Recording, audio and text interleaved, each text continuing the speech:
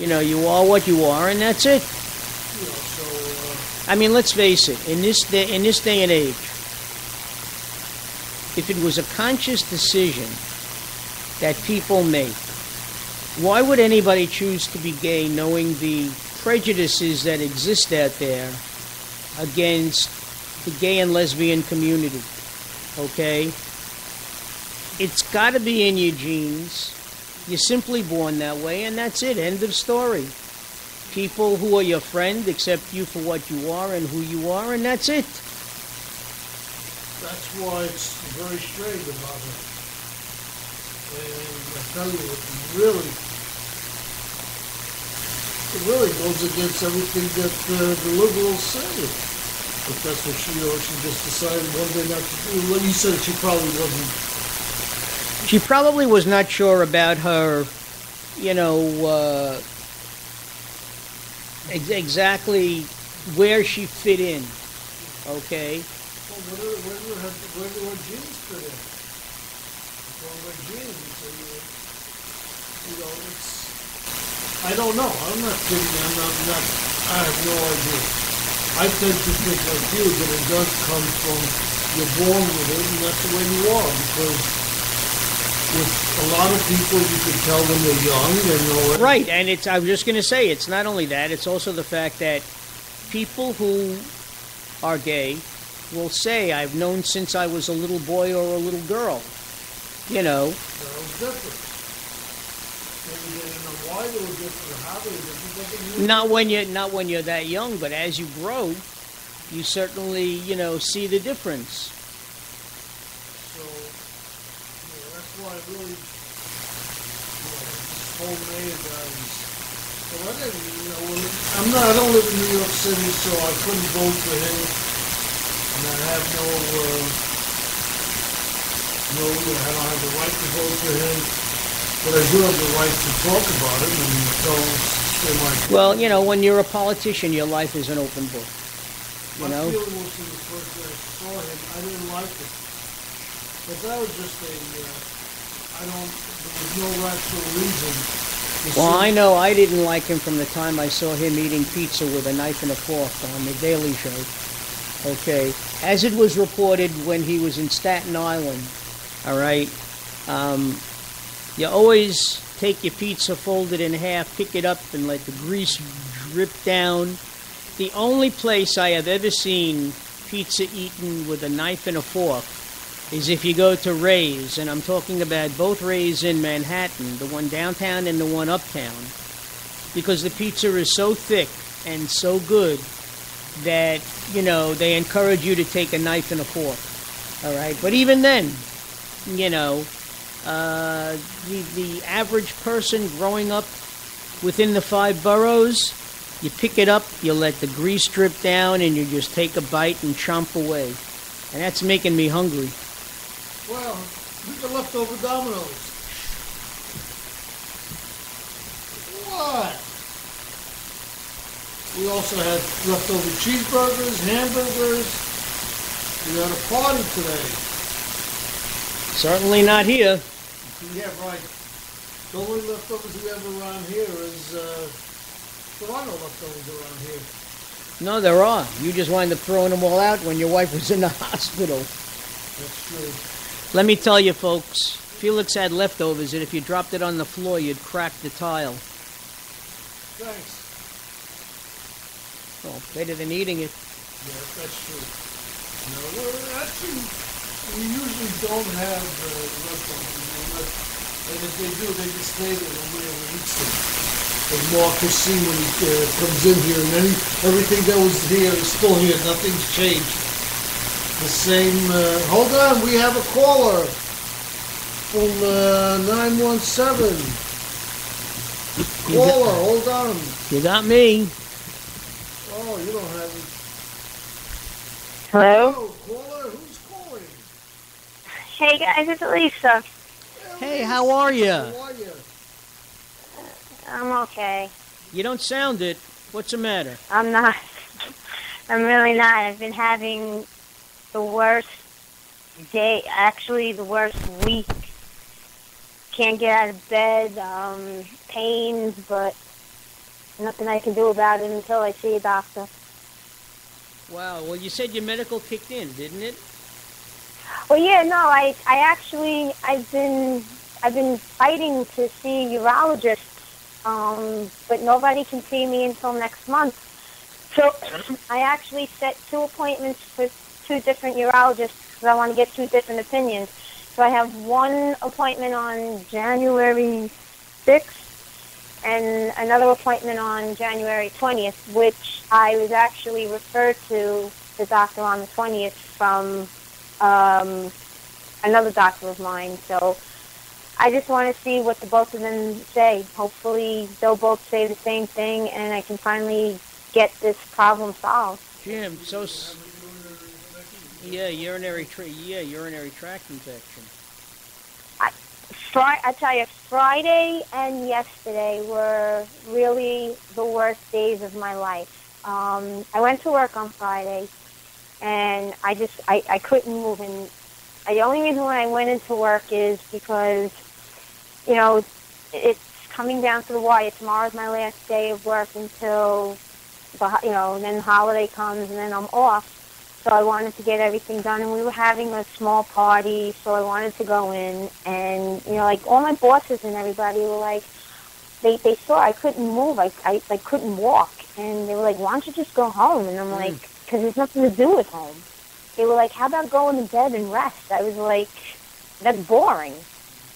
But it doesn't matter whether I'm in bed, sitting, standing, walking. It it's painful. Um, well, I don't, I, I don't know what it is anymore. I'm, I'm thinking that it's that, and I mean, it could also be something with the bladder. I don't know. I'm not a doctor. I just can't tell. Um, Could be pelvic inflammatory diseases. A lot of things it could be. It could be that, or it could also be something with my intestines because again, it's the same thing. I'm I'm remembering when my father said he had these pains, and there's like almost the same kind of pains like he was describing. So again, I don't know. It could be a combination of everything. Now, I was diagnosed in the summer with three urinary tract infections, which possibly could have been the same urinary tract infection that never went away, which I had the three antibiotics, which they didn't work, or they worked, but it was only temporary. So, I mean, I can actually go to, like, the ER right now if I wanted, and, you know, temporarily get an antibiotic that'll just temporarily help me, and I'll be fine for a couple of weeks, or maybe a month, and then it starts up again. But this time around, it's getting worse, and every day it's getting worse and worse. So, I mean, yesterday I was completely bedridden. I mean, I took myself off the face of the earth yesterday. I did not get out of bed. I didn't open my eyes. I pretty much slept the whole day yesterday because it was the only time that I wasn't in pain.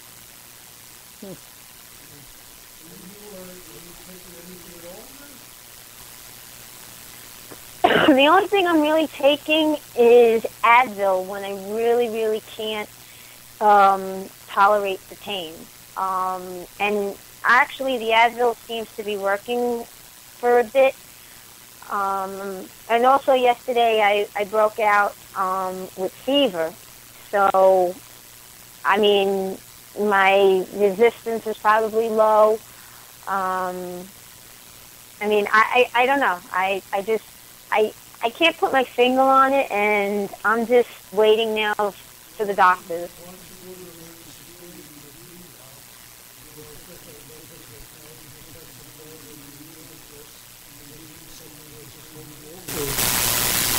Well, I, I mean, I could do that. Like, I've got um, urgent cares, not like one's right around the corner from my house, and then there's another one not too far, and I've gone to them already, but they're really bogus. They don't really know what they're doing. Um, yeah, they'll they'll do those tests. You know, they'll they'll do a urine test. They'll say, okay, it's an infection. We'll put you on antibiotic.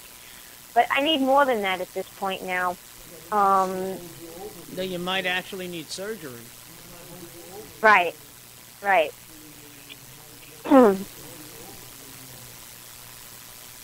I mean, I don't know how much how how much pills can I possibly take. I already take pills for my Crohn's disease, which I got to take four times a day, which half the time I forget to take.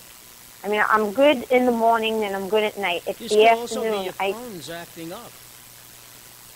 I- you know, I kind of thought about that too today. Um, I've been having some issues with that too. Um, uh, one of one of the symptoms of my Crohn's is bleeding, and I wasn't bleeding for a, quite a while, and it just started again, and it's kind of, I mean, it's it's blood blood now. I mean, I I, I don't know. I I just I've got so much going right now that I don't know what to think, and I don't want to play doctor. I just want to wait and to see a doctor. Well, then, you know, no offense, but if you don't, one, want, if you don't want to The play only thing- doctor, you know, by sitting around and waiting for your appointment on the fifth, basically that's what you're doing, rather than go Well- to emergency care or go to the ER.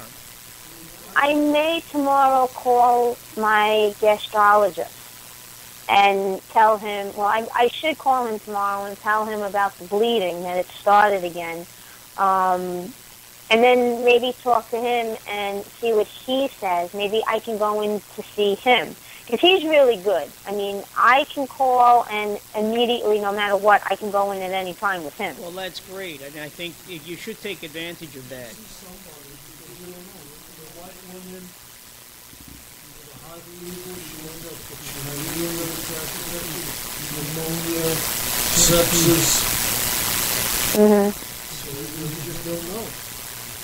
No, I know. That's the thing. And like I said, my job, my everybody at my job is really, really good. I mean, they're pulling for me and everything. They tell me all the time, "You need to go somewhere. If you need to go to a doctor, just go." You know, um, don't even tell us. Just like you know, just leave. If if we don't see you, we'll know that you're gone. Why do I let you go? I want to walk you through the Yes, we also we also dispense uh, medical advice. Uh, after all, I am Dr. Mark. I am a uh, pre-med dropout, but uh, what can I say? But I mean, other than that, everything's been good. I mean, I celebrated my daughter's birthday a couple of weeks ago. We had a really good time I remember. doing that.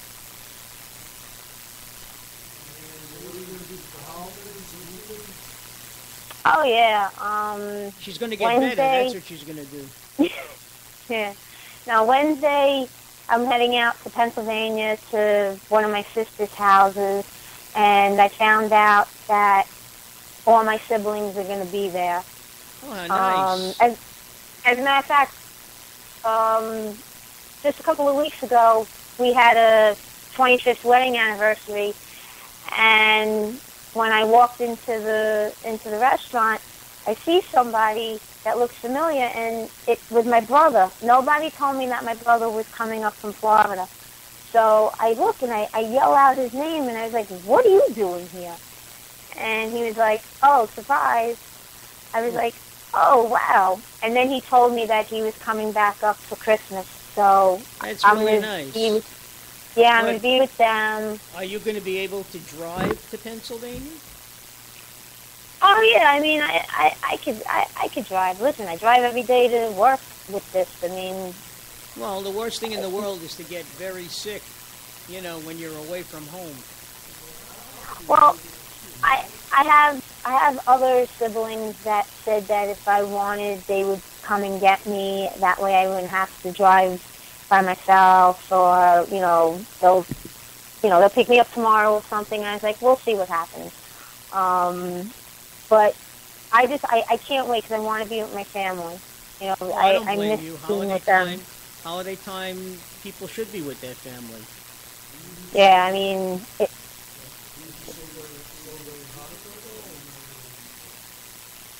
um, no, I mean, I I have the I have one of the menorahs out, but I didn't light it. I was bad this year. Um, plus the fact I haven't been really home much at night. you know, because I've been out shopping